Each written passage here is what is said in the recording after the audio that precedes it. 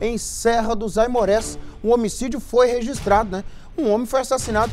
Isso foi no fim de semana também, né, Fantoni?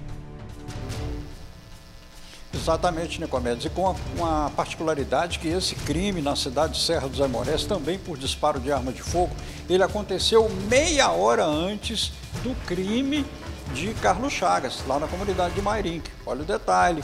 Aí a polícia vai cruzar as informações.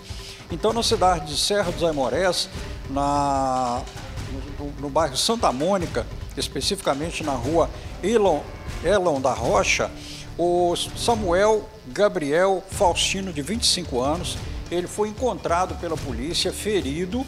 A informação de que ele teria sido é, é, é, baleado.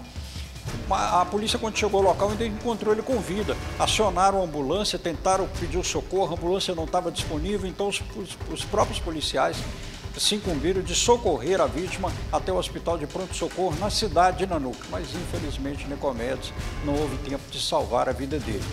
O detalhe é que a polícia, como começou a fazer os levantamentos, mas espera aí, o, o Samuel, como é que foi que essa situação? Ah, momentos antes do crime, o Samuel teve um desentendimento com uma pessoa em um bar.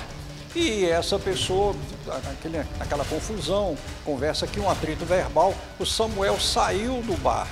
E logo em seguida, na mesma direção do Samuel, veio o suspeito, uma mulher que estava com ele.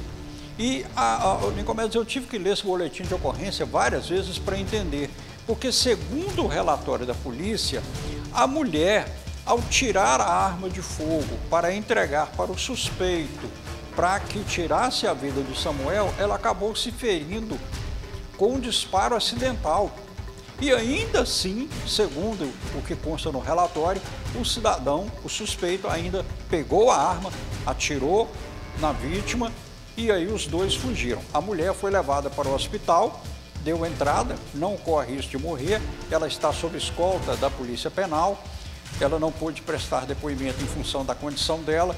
O suspeito de ter efetuado os disparos contra o Samuel que produziram a morte dele ainda não foi encontrado.